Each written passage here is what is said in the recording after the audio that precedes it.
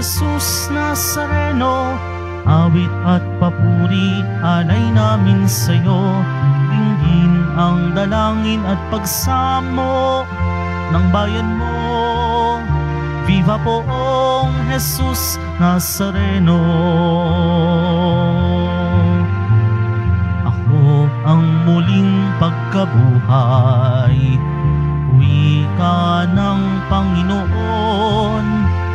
Ang sino mang manalig sa akin ay mabubuhay kailanman.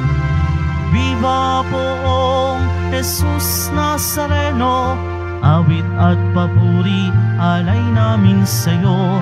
Dinggin ang dalangin at pagsamo ng bayan mo. Viva poong Jesus Nazareno.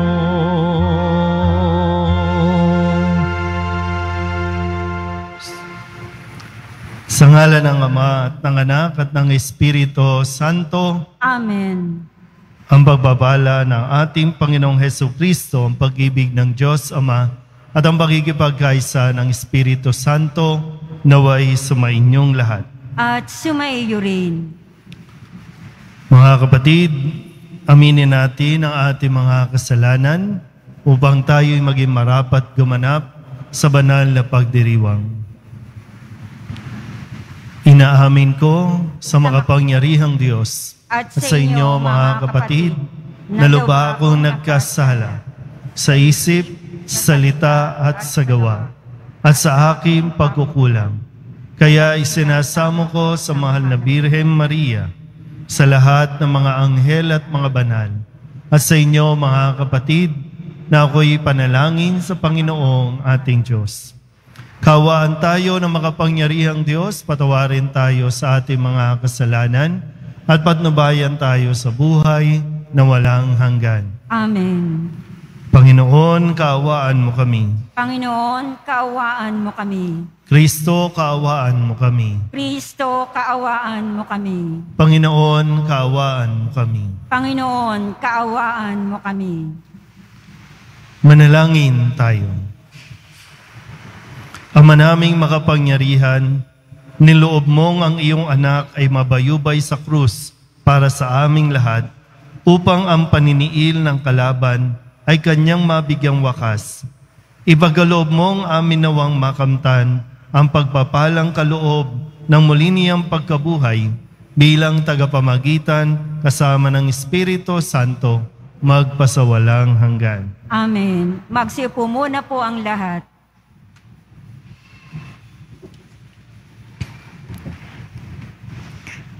Pagbasa mula sa mga gawa ng mga apostol. Noong mga araw na iyon, tumindig ang isang pariseyong nagngangalang Gamaliel, tagapagturo ng kautusan at iginagalang ng buong bayan. Iniutos niyang ilabas muna ang mga apostol, saka nagsalita. Mga kababayan, isipin ninyong mabuti ang gagawin sa mga taong ito.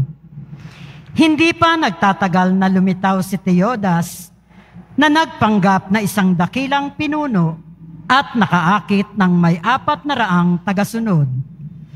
Ngunit nang mapatay siya, nagkawatak-watak ang mga tauhan niya at nauwi sa wala ang kilusan. Pagkatapos lumitaw naman si Judas na taga Galilea noong panahong ng pagpapatala at nakaakit din ng maraming tauhan. Nang mapatay siya, nagkawatak-watak din ang mga tagasunod niya. Kaya't sinasabi ko sa inyo, huwag ninyong pakialaman ang mga taong ito. Hayaan ninyo sila kung ang kanilang panukala o pagpupunyaging ito'y mula sa tao, ito'y mabibigo. Ngunit kung mula sa Diyos, hindi nyo ito masasansala at lilitaw pang lumalaban kayo sa Diyos. Napahinuhod sila sa payo ni Gamaliel. Pinapasok na muli ang, ng mga apostol at pagkatapos, ipapalo at pagbawalang mangaral sa pangalan ni Jesus, sila'y pinaya, pinalaya. galak na galak na umalis ang mga apostol sa harap ng Sanedrin, sapagkat minarapat ng Diyos na sila'y malagay sa kahihiyan, alang-alang sa pangalan ni Jesus, at araw-araw nagpupunta sila sa templo at sa mga tahanan, at dooy nagtuturo at nangangaral tungkol kay Jesus ang Kristo. Ang salita ng Diyos. Salamat sa Diyos. Ang tanging aking mithi, Panginoon makapiling. Ang tanging aking mithi, Panginooy makapiling. Tanglaw ko'y ang poon, aking kaligtasan. Kaya walang takot, ako kanino man. Sa mga panganib, kanyang iingatan. Kaya naman ako'y walang agam-agam. Ang tanging aking mithi, Panginooy makapiling. Isang bagay lamang ang aking mithiin. Isang bagay itong sa poon hiniling. Ang ako'y lumagi sa banal na templo upang kagandahan niya'y mamasdan ko at yaong patnubay niya ay mata mo.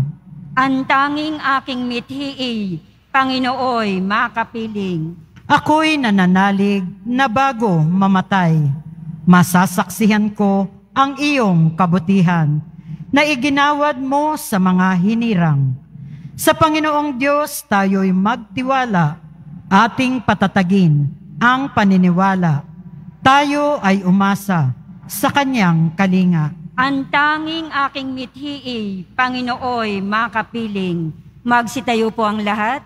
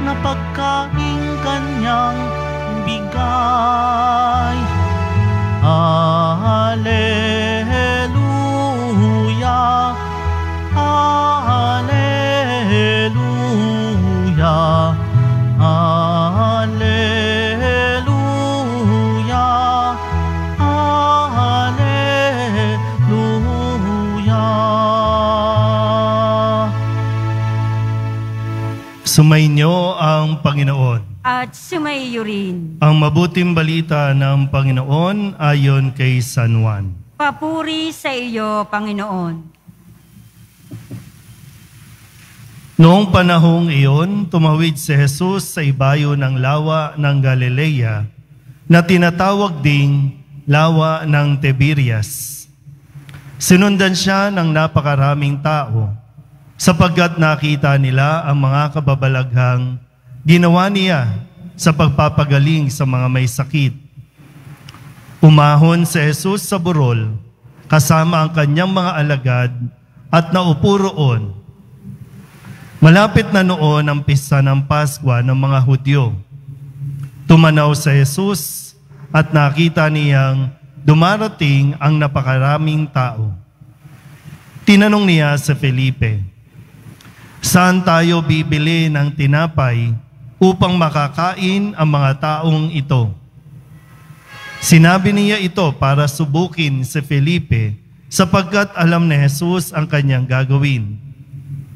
Sumagot si Felipe, kahit na po halagang dalawandaang dinaryong tinapay ang bilhin, ay di sasapat para makakain ng tigkakaunti ang mga tao.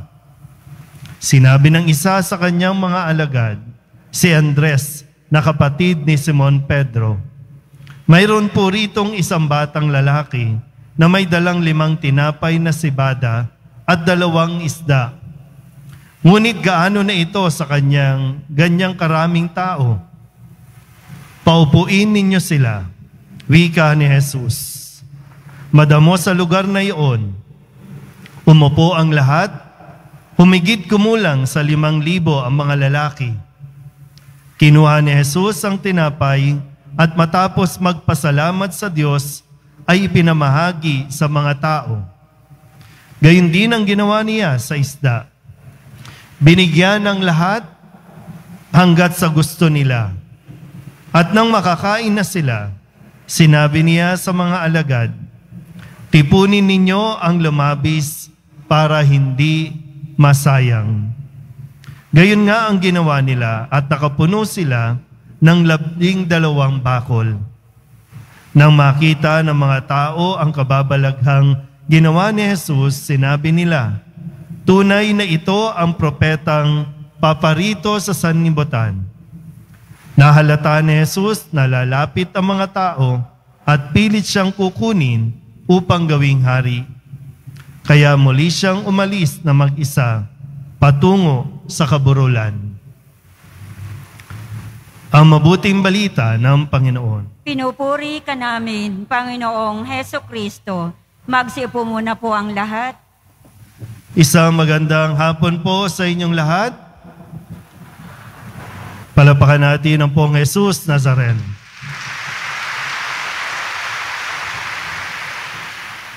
Kamusta po?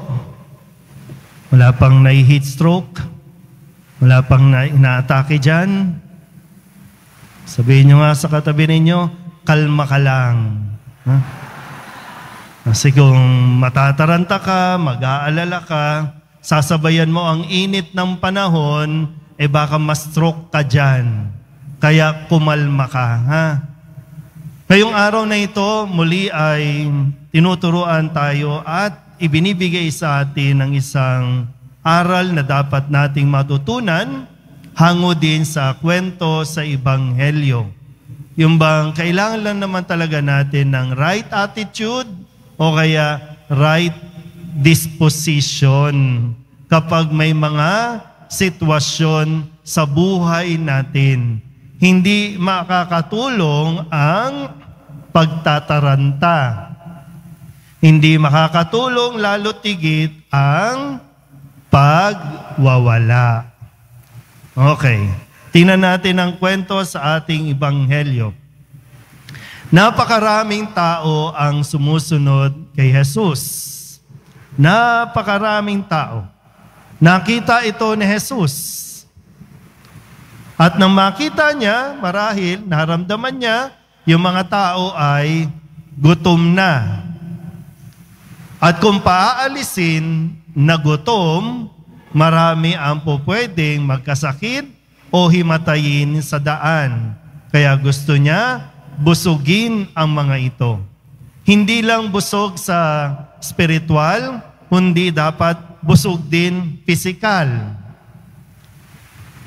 Malinaw po ba? Okay, eto na ngayon. Tinanong niya sa Felipe, Saan tayo, no? Saan tayo bibili ng tinapay upang makakain ang mga taong ito? Nasaan sila? Nasa isang burol, no? Sabi dito, umahon si Jesus sa burol. So, nandun sa burol, ha? Ang tanong, saan tayo? Kasi nakita niya, maraming magugutom eh. Ang tanong, saan tayo bibili? Saan tayo makakabili? May sitwasyon ha? May gutom na, may gutom. Lalo na, pag gutom, mainit na ulo ha? Tinan nyo yung katabi ninyo kung gutom na. O gutom o tulog na. Pag tinanong ka, Saan tayo bibili? Saan tayo makakabili? Ano ang dapat mong isagot? Uy. Saan? Bakery. Hindi sa hardware. Hindi sa Mercury Drug. Pero meron na rin tinapay sa Mercury Drug. Ang tanong na saan, isasagot mo din na lugar. Saan tayo makakabili? o pwede ang sinagot doon po sa kabilang bayan, doon po sa baba ng bayan, doon po sa kanto, doon po sa... Yun dapat ang sagot. Pero ano ang sinagot ni Felipe? Kahit na po dalawang daang dinaryong tinapay, hindi sasapat para mapakain ito. Ah, pag, damahin natin, no? Yung, yung sinagot ni Felipe, Panginoon, kahit na dalawang daang dinaryong tinapay, worth, no? Dalawang daang dinaryong tinapay ang bilhin, hindi sasapat para makakain ng mga ito. Anong sagot ni Jesus? Alam mo, Felipe, pala desisyon ka eh. Tinatanong lang kita kung saan. Bakit mo po problemahin? Eh, hindi mo pa nga alam kung saan ka bibili. Nakukuha niyo ba? Kasi minsan pag may problema tayo, pag may sitwasyon tayo, inuunahan natin ng kung ano-ano mga reklamo. Eh lahat naman ng problema may solusyon. Hindi lang natin makita yung solusyon kasi mali din yung tinitingnan mo o yung pagtingin mo.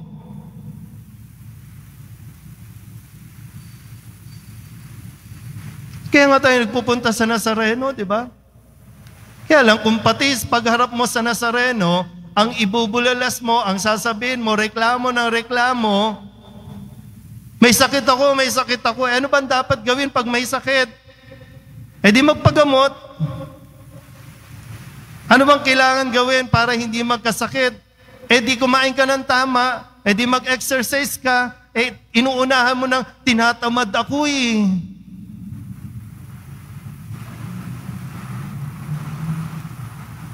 Tapos magre-reklamo tayo, Lord, ang sakit dito. Ahawak tayo sa Nazareno, papahid mo sa kung saan saan, pero pagdating mo sa bahay, tamad ako, tamad. Eh, sabi nang mag-exercise, sabi nang maglalakad-lakad ka. Wala eh.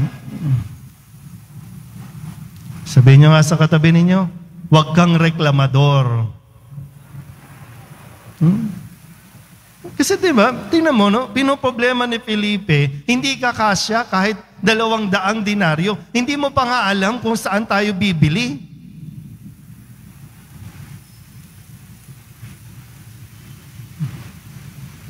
Minsan nagre-reklamo yung karamihan dito, no? Marami nagdarasal para makahanap ng trabaho.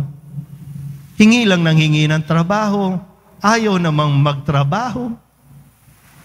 Ayaw mag-apply, ayaw kumilos. Pero Lord, bigyan mo ako ng trabaho. Ano, babagsak sa'yo dyan? Yun yung una. Pangalawa, sabi ni Simo, ni Andres, Panginoon, ulit, ang sitwasyon natin ha, maraming nagugutom. Ang sagot naman ni Simon, ani ah, Andres, Panginoon, meron po dito. No? Meron po ditong may dalang limang pirasong tinapay, dalawang pirasong isda. Anong attitude na ito? Yung magturo. Yung imbis na ikaw, tayo mag-volunteer, tayo mismo magbigay, pero ang makadalasan, itinuturo natin ang iba na sila ang dapat magbigay. Sila ang dapat kumilos, ikaw hindi. Kasi kung iisipin natin, bakit hindi ibinolunteer ng mga alagad ang daladala nila? Bakit kailangan yung iba, yung sa iba ang kunin, yung sa iba ang i-volunteer? Tapos sasabihin mo pa, eh, paano naman yan, Lord? Lilimang piraso, dadalawang isda. Paano magkakasya yan? Nagsalita ka pa. Si, ano, Andres, ha? Nagsalita ka pa. Ba't hindi yung sa atin? Ba't hindi yung sa iyo? Ba't hindi yun ang i-volunteer mo? Ba't hindi yun ang ibigay mo? Kasi ang solusyon doon sa sitwasyon, sa problema, baka nasa sa iyo, ikaw mismo ang inihingan. Kaya lang, ayoko, wag ako, wag sa akin. Yung sa kanila, sila, So paano tayo na Paano tayo nito? Dasal tayo ng dasal, pero ayaw mong magkusa. Ayaw mong magbigay. Gusto mo yung iba ang magbigay. Sabihin nyo nga sa katabi ninyo, huwag kang madamot. Hmm, nahiya na naman kayo, no? Hmm? Pagiging reklamador, pagiging madamot, hindi yan ang dapat na matutunan natin. Nawa, pag alis natin dito, ang matutunan natin at ang maging bukang bibig natin ay pasasalamat Sabihin nyo nga po, salamat Nazareno. Tingnan mo kung anong mayroon ka, ha? Matuto kang magpasalaman. Kasi nung kinuha ni Jesus, ang limang pirasong tinapay, dalawang pirasong isda, ipinagpasalamat sa Diyos at ibinigay, ipinamahagi. Naubusan ba sila? Labis pa. Sabi dito, kumain sila hanggat sa gusto nila. May nagsharon pa. May nag-uwi pa. Busog na, may nag-uwi pa. Kasi nakaipon pa ng labing dalawang bakol na pinagpira-piraso. Ito yung nakakalimutan natin. Magpasalamat sa kung anong mayroon. Dahil pag hindi ka natutong magpasalamat, hindi mo ma-appreciate ang mga blessings na binigay sa iyo ng Diyos. Ang titingnan mo ay yung mga bagay na wala. Yung mga bagay na ang tingin mo sa mayroon, kokoonte. Kaya magrereklamo ka o kaya naman matututo kang magtago at maging madamot at aasahan mo na iba ang tumulong, iba ang magbigay. Magpasalamat tayo sa Diyos. Hindi tayo pinagdamutan ng Diyos. At kahit kailan, no? hindi tayo pinagtaguan ng Diyos. Baka hindi mo lang nakikita o ayaw mo lang tingnan din. Akala mo wala pa? Akala mo walang binigay sa iyo? Napakarami nang ibinigay sa iyo ang Diyos. Kailangan mo lang matutong magpasalamat. Sabi niya ulit, salamat sa Nazareno. Paano man, no? Kalusugan ninyo, pamilya ninyo, trabaho ninyo, kaibigan, itong ginagawa ninyong paglilingkod, napakarami nating bagay na dapat ipagpasalamat kesa sa mga bagay na inirereklamo natin sa Diyos. Amen?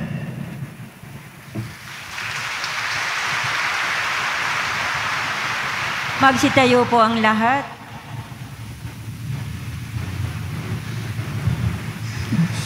Minamahal ko mga kapatid, sa himala ng pagpapakain ng liman libong tao, ipinakikita sa atin ng ating Panginoon na ibibigay ng Ama ang lahat ng ating mga pangangailangan Hiringin natin sa Kanya ang lahat ng mabubuting bagay na may pagkakaloob niya sa atin. Ang ating pong itutugon, Panginoon, bigyan mo kami ng aming kakanin araw-araw. Panginoon, bigyan mo kami ng aming kakanin araw-araw. Ang mga pinuno ng simbahan naway magpakita ng katulad ng pagkahabag na ipinamalas ni Jesus upang pakanin ang mga taong nagugutom. Manalangin tayo. Panginoon, bigyan mo kami ng aming kakanin araw-araw. Ang mga Kristiyano, naway tularan ang ginawa ng batang nagbahagi ng kanyang pagkain at magbahagi rin ng anumang maaaring makatulong sa mga nangangailangan. Manalangin tayo. Panginoon, Bigyan mo kami ng aming kakanin araw-araw.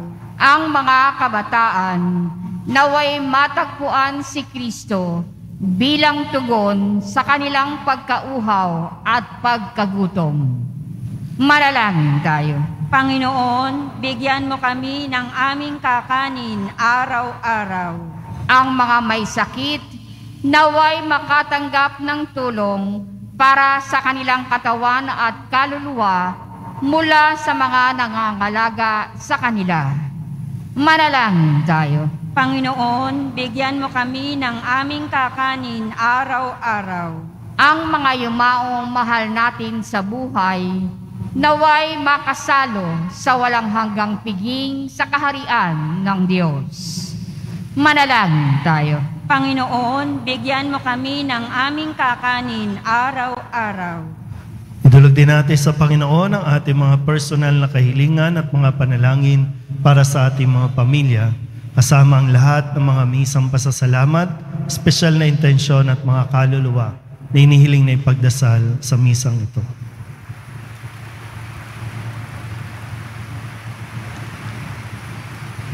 Ang lahat ng ito inihiling namin sa ngalan ni Kristo ang aming Panginoon. Amen. Magsiupo muna po ang lahat.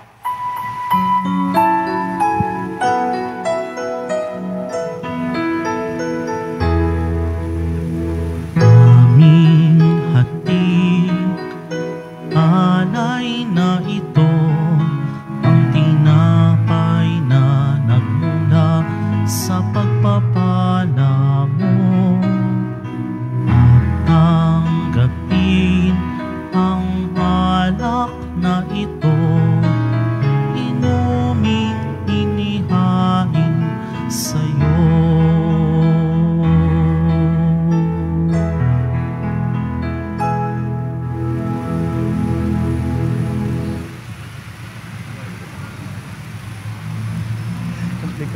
Magsitayo po ang lahat. Manalangin kayo mga kapatid upang paghahain natin ay kalugdan ng Diyos amang makapangyarihan. Tanggapin nawa ng Panginoon itong paghahain sa iyong mga kamay, sa kapurihan niya at karangalan, sa ating kapakinabangan at sa buong sambayanan niyang banal. Ama naming lumikha, tanggapin mo at kalugdan ang mga alay ng iyong angkan upang sa tulong ng iyong paglingap at pagsubaybay, ang bigay mo sa aming puhunan ay hindi masayang, kundi tumubo pa ng mga kaloob mong walang katapusan. Sa pamamagitan ni Yesu Kristo kasama ng Espiritu Santo magpasawalang hanggan. Amen. Sumayin niyo ang Panginoon. At sumaiyo rin. Itaas sa Diyos ang inyong puso at diwa. Itinaas na namin sa Panginoon. Pasalamatan natin ang Panginoon, ating Diyos. Marapat na siya ay pasalamatan. Ama naming makapangyarihan, tunay nga marapat na ikaw ay aming pasalamatan. Ngayong ipinagdiriwang ang paghahain ng Mesiyas, ang maamong tupa na tumubos sa aming lahat, sa paghahain ng sariling buhay at sa pagkabuhay ng anak mong mahal, nabuksang ganap ang iyong tahanan, at kaming pinaghaharian mo'y naging kasambahay. Sa pagkamatay niya sa krus, nalupig ang kamatayan. Sa kanyang pagkabuhay, naging buhay siya ng tanan. Kaya kaysa ng mga anghel na nagsisiawit ng papuri sa iyo, nang walang humpay sa kalangitan, kami nabubunyi sa iyong kadakilaan.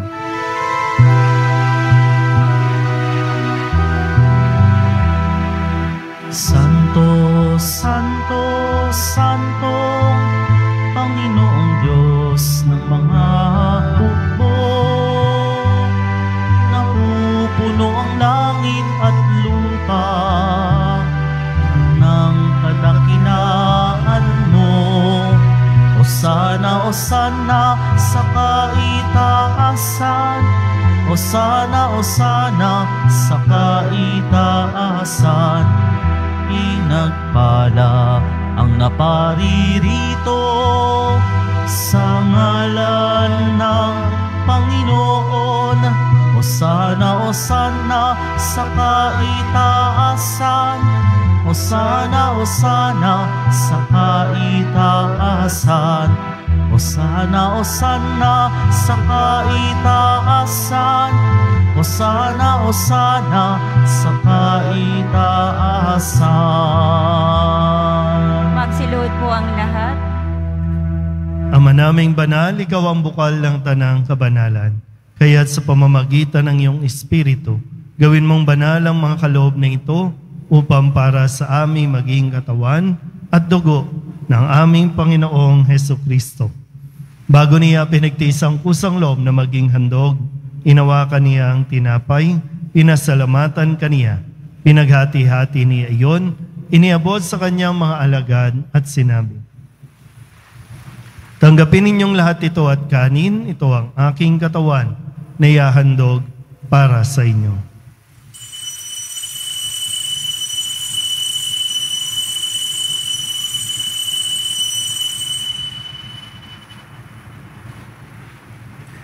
Gayun din naman nang matapos ang hapunan, hinawakan niya ang kalis, muli kaniyang pinasalamatan. Iniabot niya ang kalis sa kanyang mga alagad at sinabi, Tanggapin ninyong lahat ito at inumin. Ito ang kalis ng aking dugo ng bago at wala hanggang tipan. Ang aking dugo na ibubuhos para sa inyo at para sa lahat sa ikapagpapatawad ng mga kasalanan. Gawin ninyo ito sa pag-alaala sa akin.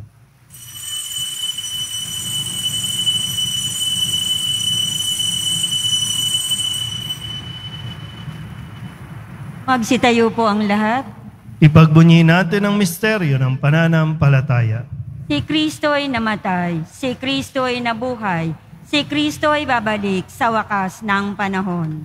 Ama, ginagawa namin ngayon ang pag-alaala sa pagkamatay at muling pagkabuhay ng iyong anak, kaya tiniaalay namin sa iyo ang tinapay na nagbibigay buhay at ang kalis na nagkakaloob ng kaligtasan.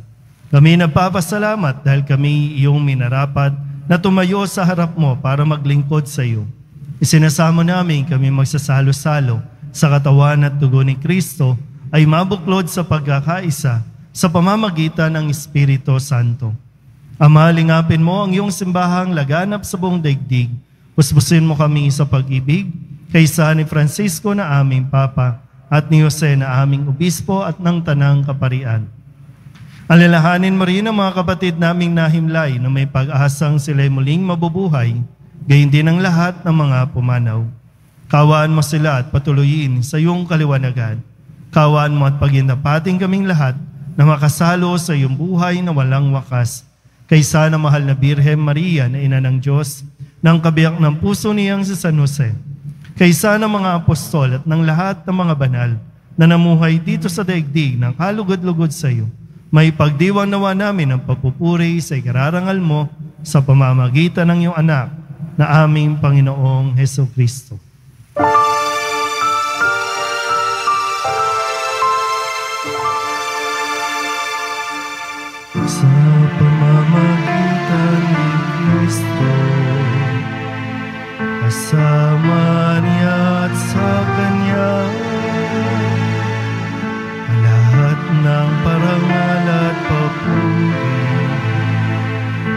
sa iyo, Diyos Ama, makapangyarihan, kasama ng Espiritu Santo, magpasawalang hanggan.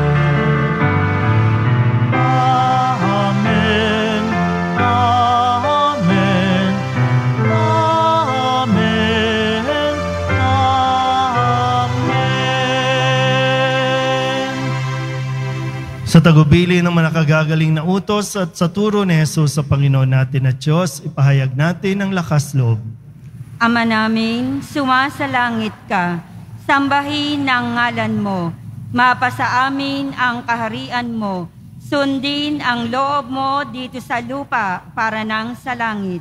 Bigyan mo kami ngayon ng aming kakanin sa araw-araw at patawarin mo kami sa aming mga sala para ng pagpapatawad namin sa nakakasala sa amin at huwag mo kaming ipahintulot sa tukso at iadya mo kami sa lahat ng masama.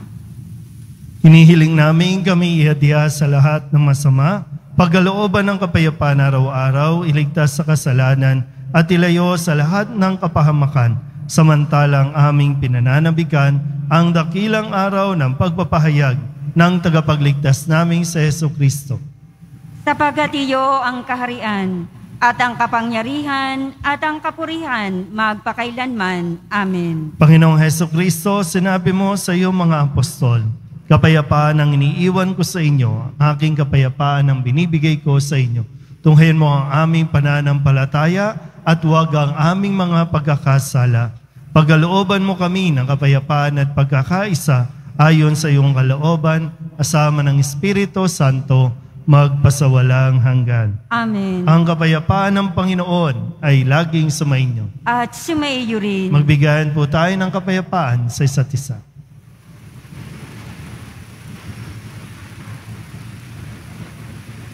Kordero ng Diyos na nag-aalis ng mga kasalanan ng sanlibutan, maawa ka sa amin.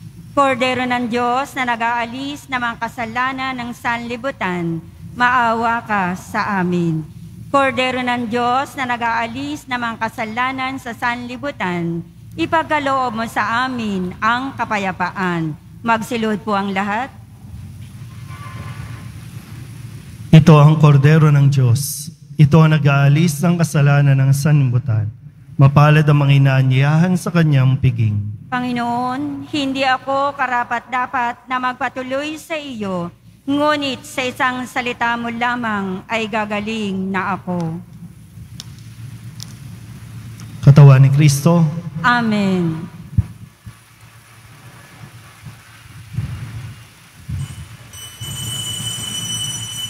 Para sa lahat ng tatanggap ng banal na komunyon, sasagot po tayo ng amin pagkasabi ng pari o ng lay minister ng katawan ni Kristo at isubo agad sa bibig bago umalis sa harapan ng pari o lay minister. Sumunod po tayo. Maraming salamat po.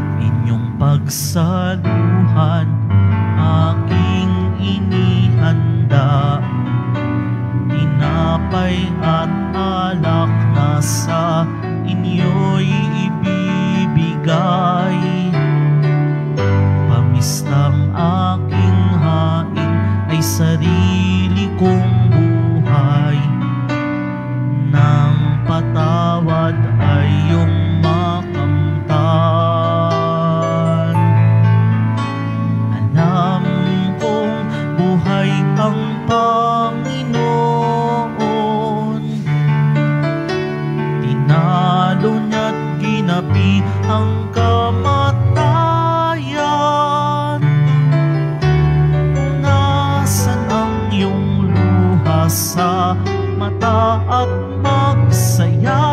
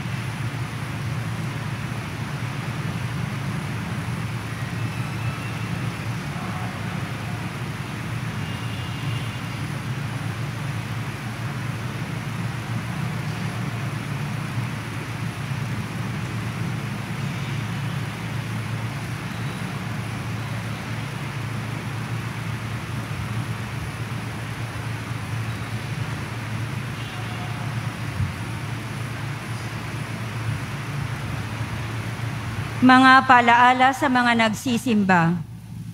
Pinaalalahanan ng lahat na huwag maging kampante sa banta ng COVID-19. Pagkos, dapat nating ipagpatuloy ang tamang pagsuot sa mini- pagsunod sa minimum public health standards, pagsusuot ng tamang face mask. Pagkatapos ng misa, bibisikan po ang lahat ng banal na tubig. Pinakikiusapan ng lahat na manatili lamang muna sa inyong mga lugar. Tangin sa Quezon Boulevard o sa Plaza San Juan lamang ang labasan ng lahat. Sumunod po tayo. Maraming salamat po sa inyong pagdalaw at pagsisimba sa Basilica Minor ng Itim na Nazareno. Magsitayo po ang lahat. Manalangin tayo.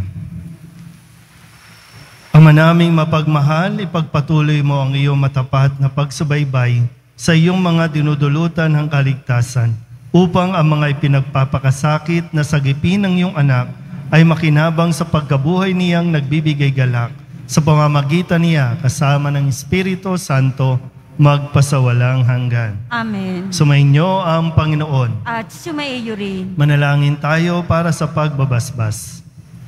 Mahal na pong Jesus Nazareno, inihayag mo sa pamamagitan ng krus ang walang maliw na pag-ibig ng Diyos sa sangkatauhan. Pakinggan mo ang kahilingan ng iyong angka na nagsusumamo sa iyo. Makamtanawa nila ang iyong katugunan at tanggapin ang kasagutan na may utang na loob na tinatanaw. Basbasan din po ninyo mga dala-dala nilang mga imahin at dasalan at lahat ng mga may karamdaman. Sa pamamagitan ng bendisyon na ito naway maalala nila ang mga pangako nila noon sa binyag na ikaw ang kanilang ibigin at paglilingkuran bilang Panginoon magpasawalang hanggan. Amen. At pagpalain kayo ng makapangyariang Diyos, Ama at Anak at Espiritu Santo. Amen. Mayo kayong taglay ang kapayapaan ng poong Jesus Nazareno. Salamat sa Diyos. Magandang araw po.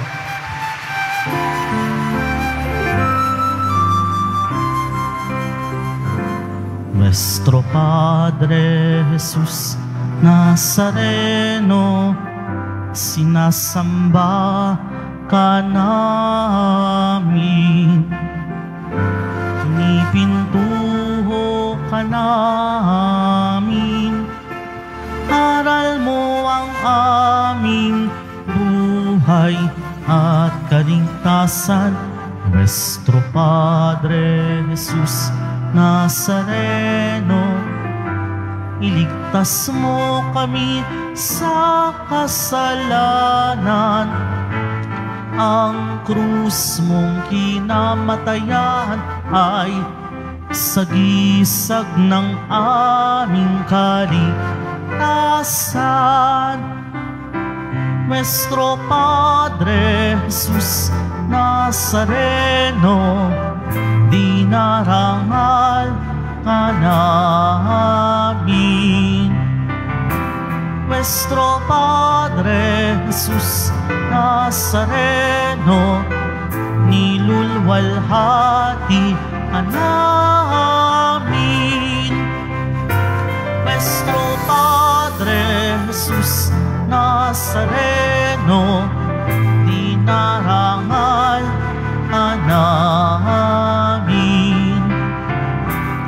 Nuestro Padre Jesus Nazareno, nilulwalhati ka namin.